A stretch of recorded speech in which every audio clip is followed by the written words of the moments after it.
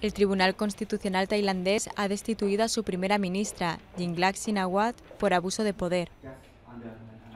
Esta decisión abre un nuevo periodo de incertidumbre en el inestable país asiático. Y es que la política tailandesa está muy polarizada desde que el ejército derrocó al hermano de la destituida primera ministra, Thaksin, que ocupaba entonces el cargo. En los últimos seis meses, cientos de miles de personas salieron a la calle para protestar contra los hermanos.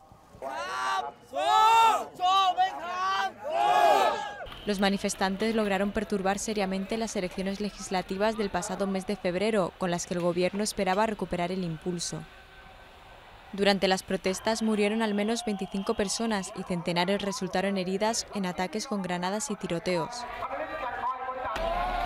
En el lado opuesto, el movimiento de los camisas rojas, leales a Taksin, prometió manifestarse si se consumaba lo que ellos denominaron golpe de Estado judicial.